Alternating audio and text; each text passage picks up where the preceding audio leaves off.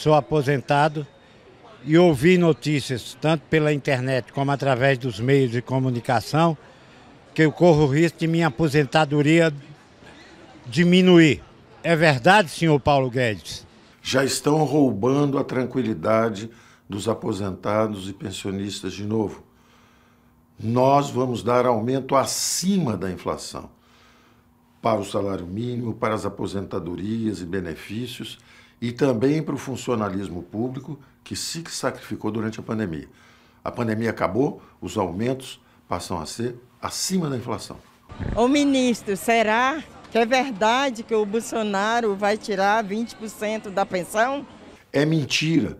Estão roubando a tranquilidade dos trabalhadores, dos aposentados, pensionistas. Protegemos os idosos, protegemos o salário mínimo, mesmo durante a pandemia. Agora que a pandemia foi embora, os aumentos vão ser acima da inflação. Estão querendo roubar o seu voto.